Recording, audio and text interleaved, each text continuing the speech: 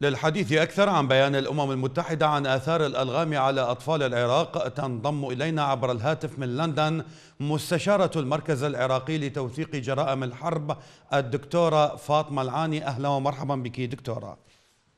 السلام عليكم ورحمة الله وبركاته. أحييكم وأحيي مشاهديكم الكرام وتقبل الله الصيام والطاعات بحسب الأمم المتحدة فإن نحو 500 طفل عراقي تعرضوا للقتل أو الإعاقة جراء المواد المتفجرة خلال السنوات الخمس الماضية بداية لماذا لم تتحرك الحكومة لتفكيك هذه الألغام رغم انتهاء العمليات العسكرية منذ سنوات؟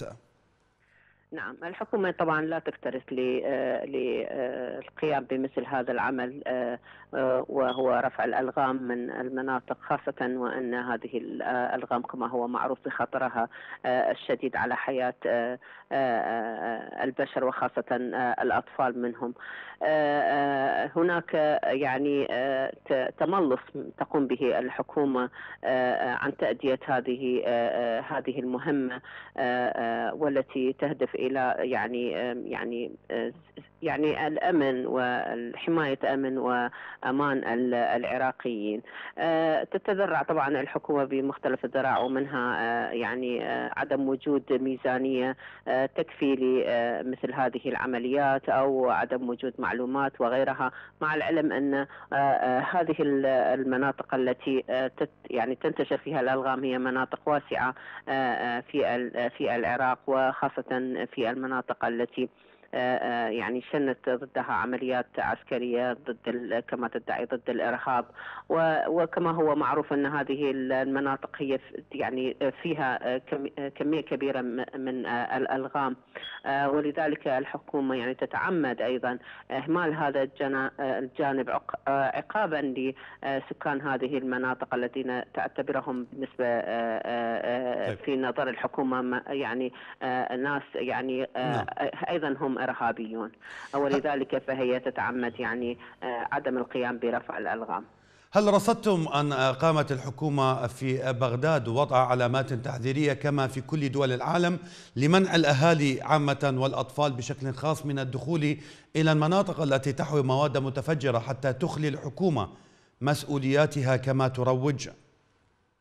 يعني الحكومة لا تكترث حتى بوضع مثل هذه العلامات وإن كانت موجودة في بعض المناطق فهي آه، ليست بذلك الوضوح وليست بذلك المستوى آه، من آه، العالي من تحضير يعني ال يعني ال مواطنين من وجود هذه آه، الألغام خاصة وأن هناك يعني آه، آه، يعني نسبة كبيرة من هذه الألغام ممكن أن تتحرك وتنجرف إلى مناطق أخرى ولذلك يعني لا توجد هناك يعني متابعة لمثل هذه المواضيع. وقد لاحظنا يعني قبل عدة أشهر ما حدث من جريم يعني مجزرة مروعة ضد بعض أهالي بعض المناطق نتيجة يعني انجراف هذه الألغام إلى مناطق غير المناطق الأصلية التي كانت توجد فيها هذه الألغام وتسببت في سقوط ضحايا آه، آه، بسبب هذه الألغام. إذا هناك يعني آه، إهمال واضح حتى في عملية يعني متابعة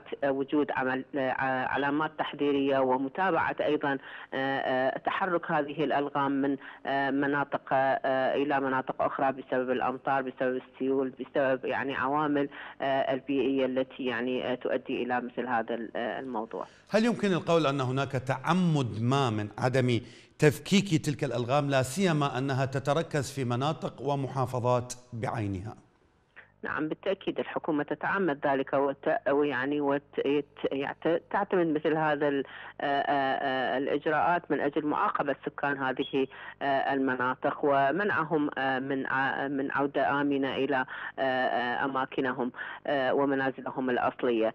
نعرف جيدا أن أصلا عملية تهجير كانت قسرية لأهالي هذه المناطق بسبب العمليات العسكرية التي استهدفت المدنيين وبالتالي فإن ان عدم رفع الألغام يعني معناه بالتالي يعني استمرار لهذا النهج وهو إبعاد السكان عن منازلهم ومناطقهم الأصلية.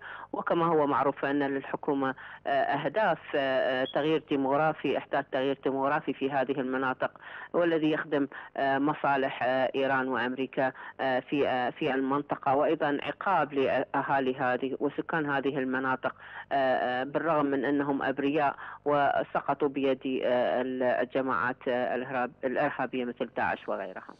مستشارة المركز العراقي لتوثيق جرائم الحرب الدكتورة فاطمة العاني كنت معنا عبر الهاتف من لندن شكرا جزيلا لك لانضمامك إلينا